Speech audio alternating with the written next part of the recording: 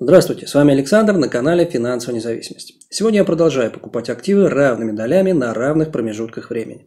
Равные доли – это постоянные 10 тысяч рублей, а равные временные промежутки – это неделя. Это первое видео с 10 тысячами рублями. Начиналось это инвестирование с еженедельных 3 тысяч рублей, потом было 5 тысяч рублей, теперь 10 тысяч.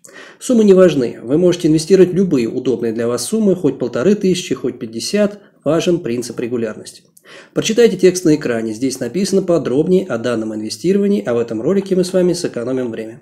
Итак, начинаю. Общий результат по портфелю сейчас, как вы можете видеть у себя на экранах, это 20 э, с небольшим процентов прироста. Это вот мелкими зелеными цифрами здесь э, нарисовано.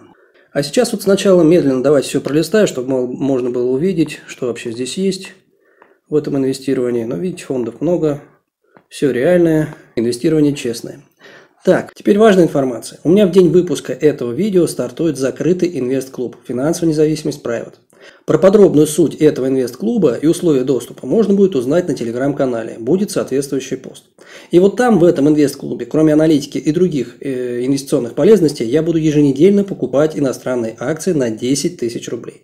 Причем на данном этапе активы там уже все куплены на такую же сумму, как и в этом оранжевом инвестировании. То есть на 423 900 рублей. И получится, что со временем можно будет сравнивать эти два счета, так как условия старта и продолжения инвестирования будут одинаковые – 10 тысяч рублей еженедельно. Далее, продолжая по нашему индексному инвестированию. Смотрим, что произошло за неделю и каковы текущие тенденции на ключевых рынках.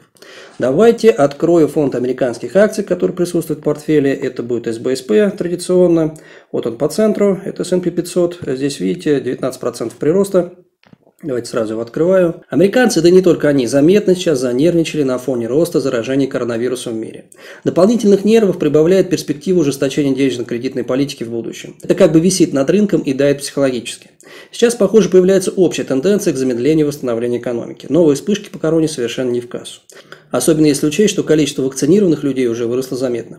Похоже, уже никто не ожидал роста короны, рынок явно закладывался на более позитивный сценарий. Далее, давайте смотрим китайцев в этом инвестировании. Вывожу китайцев на центр. Вот по центру. Здесь прирост совсем маленький, видите, 5 с небольшим процентов всего лишь. Открываю график. График есть вот такой вот. Ну, это годовой график, как вы видите.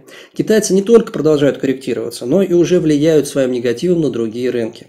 Думаю, что э, в снижении цены на нефть частично виновата и китайская распродажа фондовых активов. По китайцам вырисовывается нехорошая перспектива. Все больше авторитетных экспертов и инвесторов начинают распродавать Китай. И пока не ясно, э, чем все это закончится. Возможно, и бурным ростом в будущем, ну или более существенной коррекцией. А нам с вами не стоит забывать про риски делистинга китайских компаний с американских бирж. Повторять это будут часто. Риски инвестирования в китайские активы сейчас повышаются. Следите за балансом рисков в своем инвестировании. Это реально важно.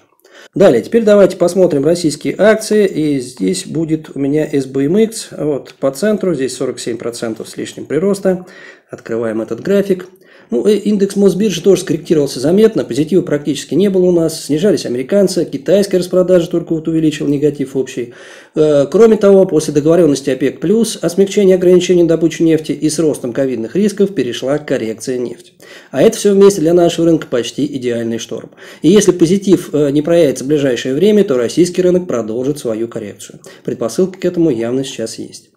Так, а теперь давайте продолжая о портфеле. Здесь сейчас э, поконкретнее расскажу. Перейдем в структуру инвестпортфеля. Вы видите сейчас ее на своих экранах. А вот в этой таблице вы можете увидеть практически всю информацию по текущим активам в этом инвестировании.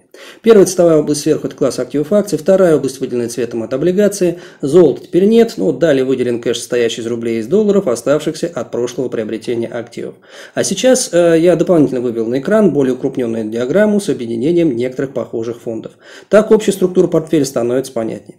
Ну а теперь несколько слов о доходности данного инвестирования. Давайте я перехожу в доходность. Это можно увидеть вот здесь вот в портфельной аналитике, на нее нажимаю, э, ну, сразу выходит вкладка «Портфель». Э, тут много интересной информации, даже видны дивиденды, э, которые были от немногочисленных акций. Зелеными цифрами написан доход по этому инвестированию. Ну, здесь сейчас 75 900 рублей. Это прирост за все время инвестирования. Номер выпуска видео в названии – это номер недели. Ну, вот столько недель было. А на популярнейший вопрос, зачем покупать фонды, если они не платят дивиденды, я ответил вот в этом видео. Там рассказано, как э, вот из таких фондов создается в случае необходимости дивидендный поток. И показано, что дивидендную зарплату в этом случае тоже можно сформировать и спокойно жить на нее в будущем. Смотрите там с примерами, много конкретики по данному вопросу и расчеты. А теперь пора начинать покупки. И вначале я должен перевести деньги на брокерский счет. Сейчас я буду переводить, э, вот э, вначале это будут доллары, вот нажал кнопку пополнить, перехожу на долларовый свой счет и э, ввожу 92 доллара. Мне 92 доллара понадобится.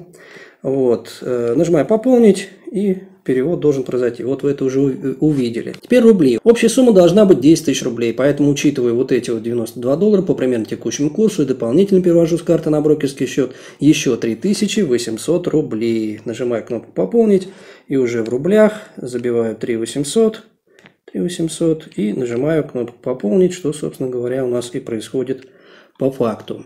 Переводы завершены, начинаю теперь давайте покупки. Значит, а начинать покупки я планировал, сейчас посмотрю, FXIM у меня здесь стоит в списке, открываю его сразу. Состав фонда FXIM, по уверению управляющей компании Finex, аналогичен фонду FXIT, то есть это IT-сектор США. Здесь тоже заметная коррекция, конечно, не такая, как у китайцев, но она видна на графике очень хорошо.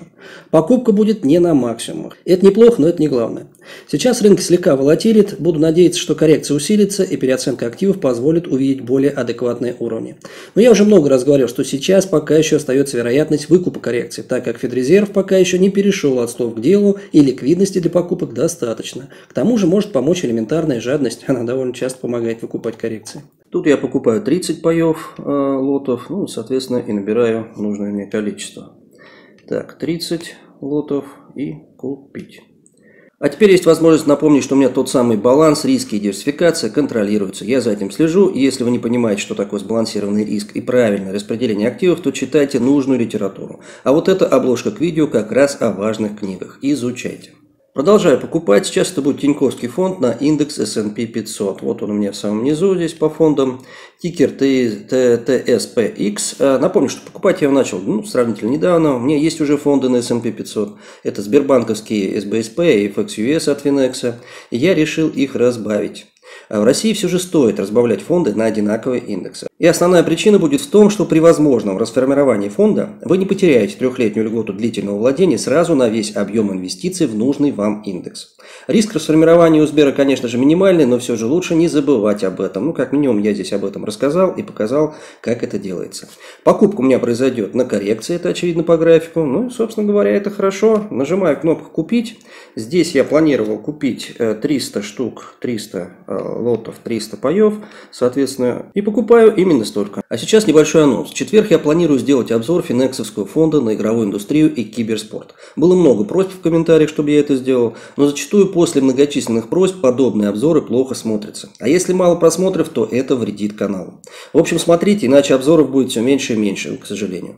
Там в планах был у меня еще и новый Тиньковский фонд э, по обзору, но пока сомневаюсь, что это нужно делать.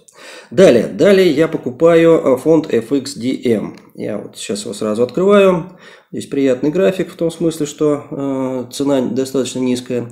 Э, фонд включает в себя акции крупнейших э, компаний развитых стран, кроме США. В него входят акции компаний э, из около 20 развитых стран. Крупнейшие доли здесь приходятся на рынки Японии, Великобритании, Швейцарии, ну и так далее. Кстати, вот в этом видео я довольно подробно разобрал плюсы и минусы этого фонда. Смотрите, изучайте, разбирайтесь. Фонд явно интересен мне для валютной диверсификации портфеля. Думаю, также очевидно, что достаточно устойчивые валюты развитых стран станут хорошей альтернативой доллару. Будут эффективно разбавлять риски доллара и балансировать портфель. К тому же цена пай, как я уже сказал, сейчас явно не на максимуме. И здесь мне нужно будет купить, э, сейчас я гляну свою табличку, там будет 50 лотов. Куплено, соответственно, 50 штук. Далее, перед следующей покупкой напомню вам о том, что я сделал отдельный плейлист вот с этими роликами. Сейчас увидите несколько обложек обзорных роликов по фондам. Плейлист называется «Обзоры фондов». Смотрите. Ну а я продолжаю покупать, и сейчас у меня будет покупка э, Тиньковского фонда «Биотех». Тема с биотехами практически вечная, позицию я понемногу набираю, но без фанатизма. И здесь я хочу купить, соответственно, 200 лотов. Вот, ну, э, это и делаю. А на сегодня это все. Всем здоровья, большого профита, да пребудет с вами сила сложных процентов.